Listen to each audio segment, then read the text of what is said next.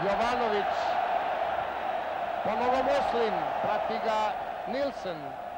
Petrović. Muslin divan pas. Šta sada sa loptom uraditi Muslin? I jedan nula Šestić.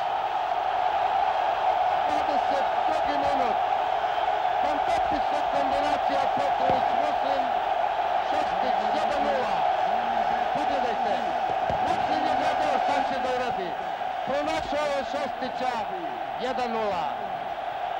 Sjajan pogodak igrača Crvene zvezde i vodstvo u 22. minutu. Šestić koji je postigao odlučujuće golove. Još jednom ovaj pogodak sada iz drugog ugla. Kulik.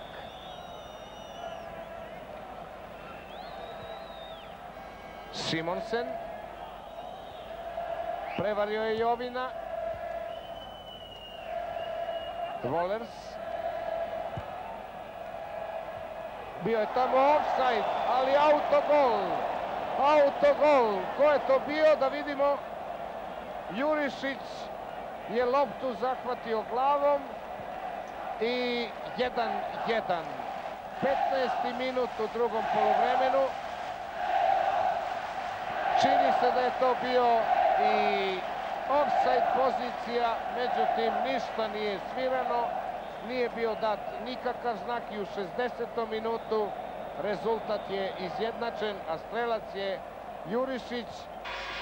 Počuje sa klupe Udo Lateć koji bi verovatno želeo nešto da kaže svojim igračima, međutim to je nemogućno jer ga niko ne može čuti.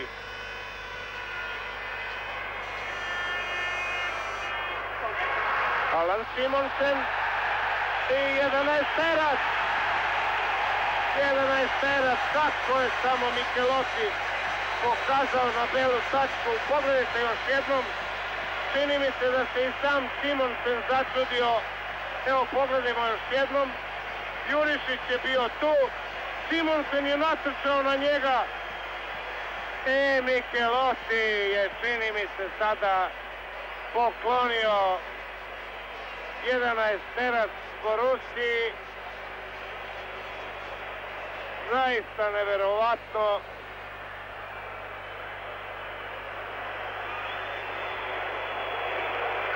Dvadeseti minut i velika šansa za Borusiju. Simonsen i 1-0.